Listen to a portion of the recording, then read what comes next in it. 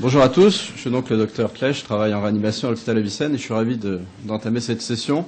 Moi, je vais vous parler de l'épidémiologie de l'insuffisance rénale aiguë euh, en réanimation.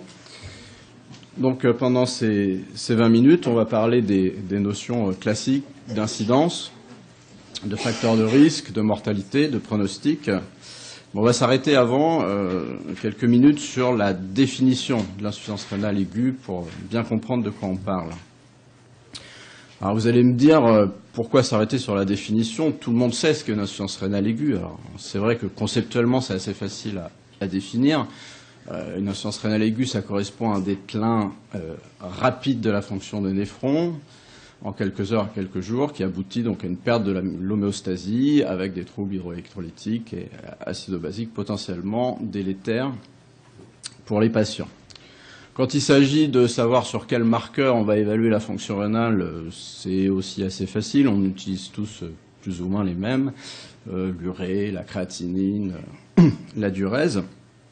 En revanche, quand il s'agit de définir réellement ou de, proposer une définition opérationnelle, c'est-à-dire avec notamment des seuils pour les marqueurs, c'est beaucoup plus difficile.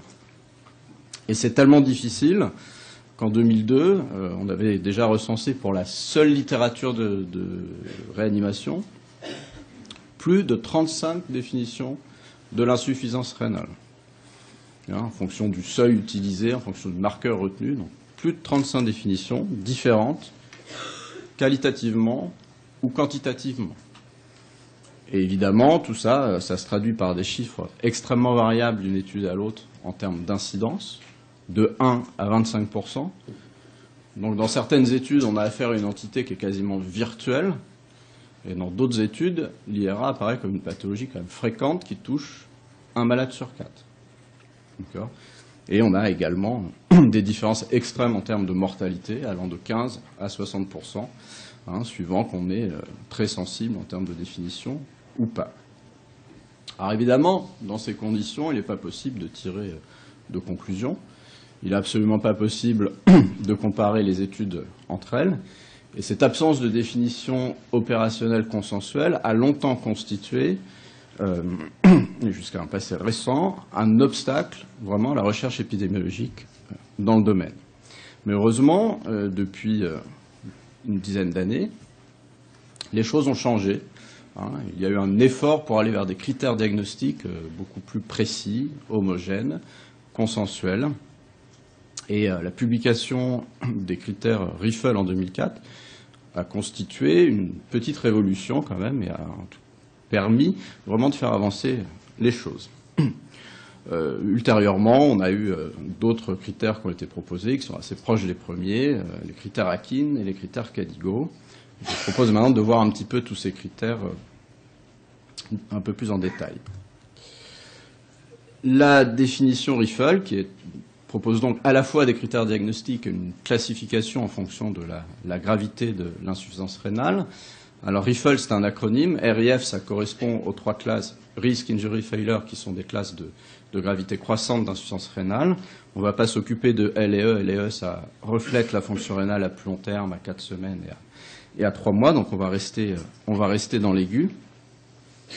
Et donc, pour classer ces patients en, risque, c'est-à-dire en sens rénal euh, relativement peu sévère, en injury, en sens rénal euh, modéré, ou relativement modéré, et en F, en sens rénal euh, dans sa forme la plus sévère, eh bien, on regarde deux critères, un critère de, débit de filtration glomérulaire ou de, de, variation de la créatinine, pour faire simple, et un critère de débit urinaire. D'accord? Et on considère le plus altéré de ces deux critères pour classer les patients. Un patient, par exemple, qui augmente euh, sa créatinine par rapport à la valeur de base de une fois et demie à deux fois, hein, enfin supérieur à une fois et demie, inférieur à deux fois, ou qui a une diurèse inférieure à 0,5 ml/kHz pendant une période d'au moins 6 heures, est classé en, risque. Et inversement, un patient qui augmente de plus de trois fois sa, créatinine de, base ou qui garde une euh, oligurie inférieure à 0,3 ml/kHz sur une période de 24 heures va être classé en failure. Alors avec Riffle, ce qui est important aussi, c'est qu'on change de nomenclature. Hein. On propose non seulement des critères diagnostiques, une, stratification en fonction de la gravité, mais on change de nomenclature. On abandonne le terme d'IRA qui euh, était beaucoup trop flou et on propose le terme euh, acquis, qui veut dire acute kidney injury, euh, donc qui correspond à ça, qui est beaucoup plus, beaucoup plus précis. À la fois, c'est une entité à la fois large mais, mais précise, avec différentes classes de sévérité bien bornées. Alors, en français, il n'y a pas tellement d'équivalent du terme acquis, donc je vais peut-être continuer à, utiliser le terme insuffisance rénale aiguë. Mais quand je vais parler maintenant d'insuffisance rénale aiguë, je vais parler de l'insuffisance rénale aiguë définie par ces critères très précis. En 2007, euh, une, autre, euh, une, autre, classification qui est en fait une adaptation de la première. Vous voyez, c'est assez proche, là aussi, trois stades de, de sévérité, d'accord, qui correspondent vraiment à Riffle, avec quand même deux, exceptions et deux différences importantes que je vous ai surlignées. C'est-à-dire qu'avec Akin, on insiste bien sur le fait qu'une augmentation qu'on considérait avant comme modérée, voire insignifiante de la créate, c'est déjà une insuffisance rénale vraie, avec des conséquences pronostiques euh, potentielles. D'accord? Et donc ça, c'est important. La deuxième différence, c'est que toute épuration extrarénale qui nécessite le recours à l'épuration extrarénale est considérée comme une insuffisance rénale grave et donc classée en stade 3. Ce qui est plus discutable parce qu'il n'y a pas d'indication très consensuelle à l'épuration extrarénale. Et du coup, on a probablement dans cette classe, du fait de ce critère des patients un petit peu hétérogènes, et on perd un peu tout l'intérêt, perd pas tout l'intérêt, mais on perd peut-être un peu de l'intérêt de cette classification qui vise à avoir des patients plus homogènes et à faciliter la recherche. Et enfin, on a eu la classification euh, Cadigo, une sorte de synthèse des deux, euh, des deux précédentes, avec des critères diagnostiques là, qui sont euh, très simples finalement. Donc c'est une augmentation de, de, la créate modérée, enfin modérée, mais qui est déjà significative de l'ordre de 26 micromoles par litre, dans un intervalle de 48 heures. Vous voyez, au départ, la définition conceptuelle, c'était déclin de la fonction des néphrons en quelques heures à quelques jours. Là, on a vraiment aussi un intervalle précis pour juger de la défaillance rénale. On peut définir aussi l'insuffisance rénale comme une augmentation de plus de 50% de la créatinine dans un intervalle de 7 jours, connu ou supposé, parce que c'est parfois difficile de déterminer avec précision le début de l'insuffisance rénale, ou une durée qui reste inférieure à 0,5 ml/kH pendant 6 heures. Et on a euh, également une stratification en fonction de la sévérité, et là c'est strictement euh, la même chose que la classification alors oui, donc c'est des définitions assez proches, donc de façon euh, tout à fait logique, elles offrent des performances euh, similaires en termes de diagnostic, de stratification pronostique, ça a été évalué dans, plusieurs études. Est-ce que ces nouvelles définitions sont réellement utiles en pratique quotidienne? Je ne sais pas. Je ne peux pas vous affirmer que ça permet de faire un diagnostic euh, plus précoce. Je ne peux pas vous affirmer que ça améliore la prise en charge et le pronostic des malades. Bon, ça reste à, ça reste à déterminer. Ces définitions, vous l'avez vu, sont basées quand même sur des marqueurs anciens. Alors certes, on a des euh, critères beaucoup plus précis, mais on reste sur les anciens marqueurs qui sont euh, des marqueurs, on le sait bien, imparfaits, critiquables, notamment la créatinine. Hein, parce que vous le savez peut-être, la créatinine s'élève très tardivement, ou relativement tardivement, par rapport à la diminution effective du débit de filtration de l'omérulaire. D'accord? Donc ce n'est pas un marqueur très, très précoce. Donc ces définitions que je vous présente aujourd'hui comme euh, consensuelles seront probablement amenées à évoluer dans les années qui viennent, enfin, je pense, et on intégrera peut-être dans ces définitions, un petit peu comme on fait pour, euh, pour le sepsis, les biomarqueurs tels que le NGAL, la cystatine ou d'autres. Sur le plan épidémiologique, en revanche, euh, bah, elles ont atteint leur but, ces définitions, elles ont vraiment fait avancer les, choses, elles sont vraiment utiles, elles ont permis de mieux caractériser l'épidémiologie de l'insuffisance rénale aiguë.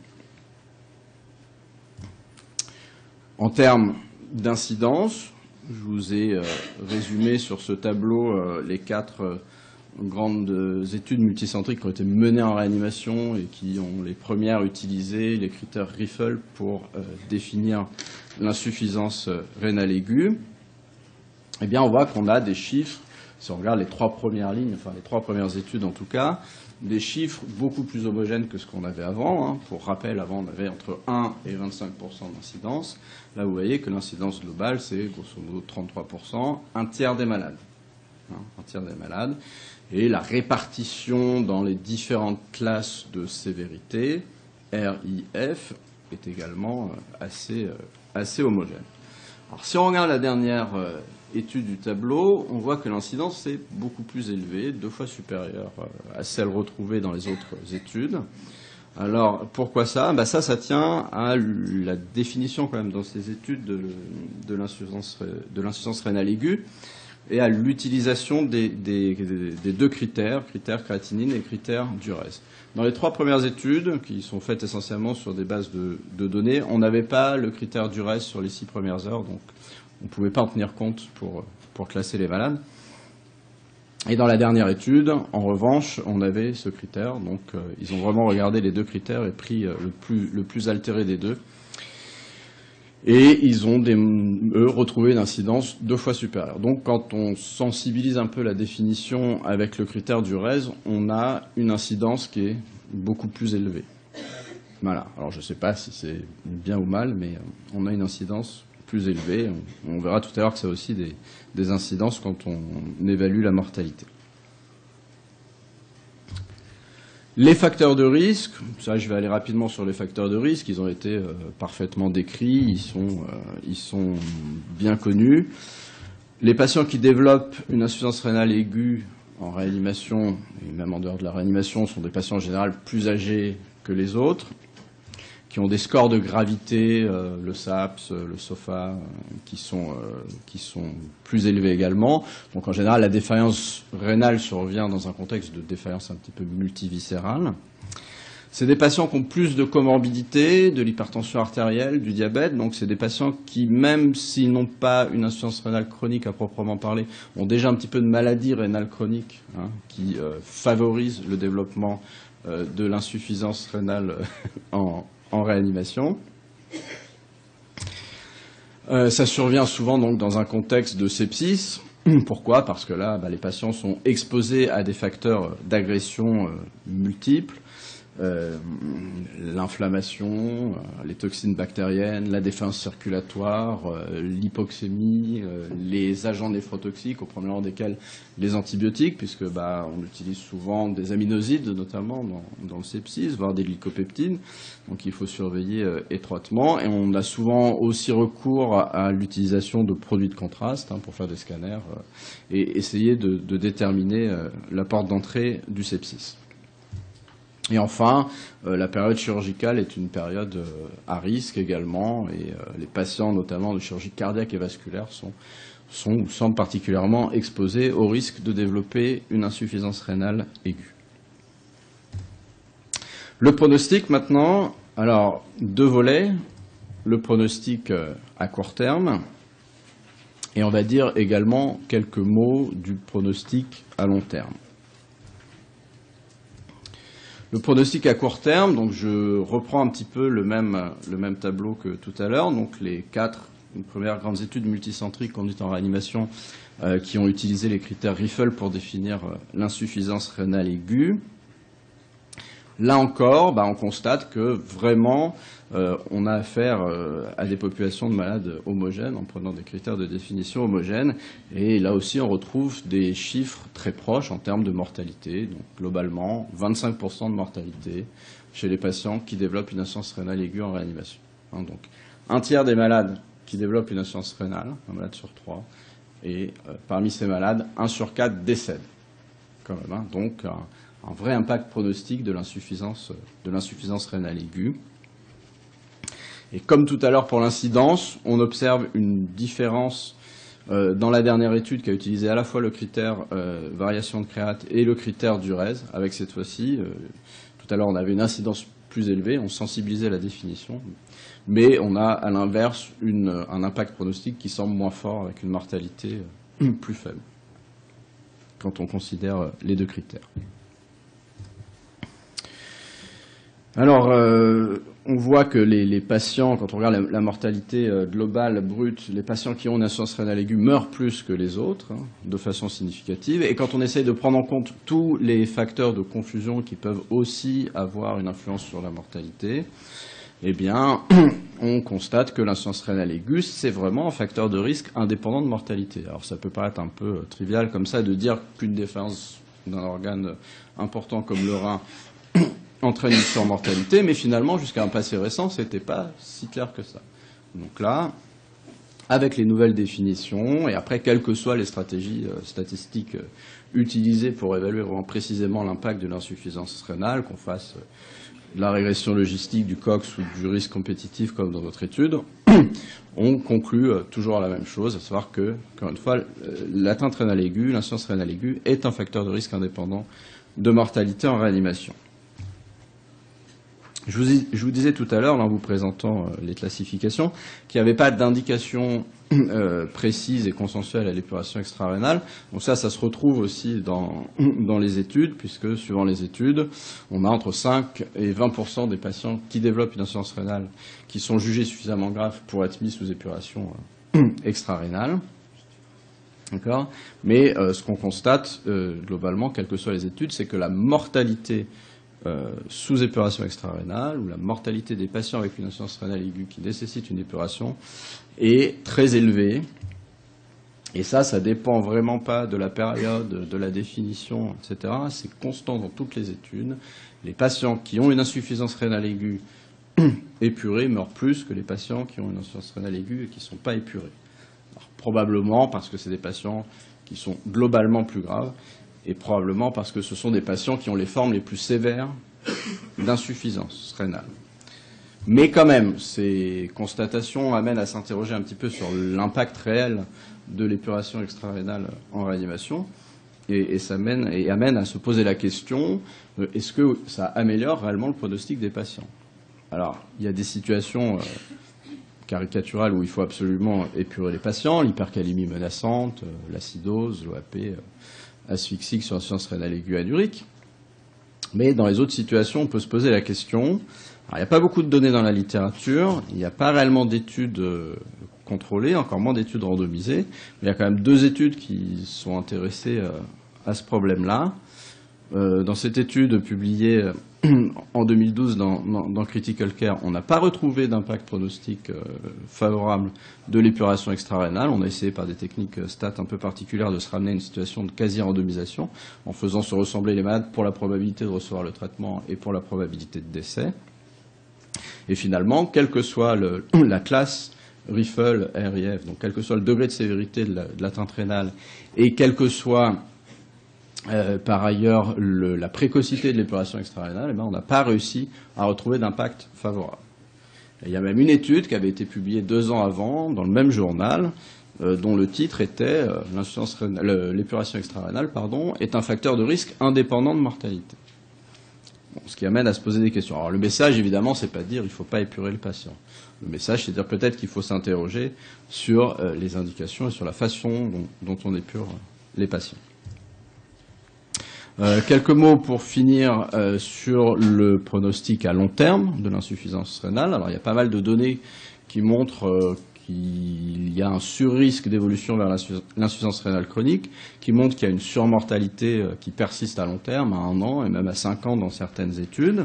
Alors tout ça c'est vrai, mais un petit bémol quand même.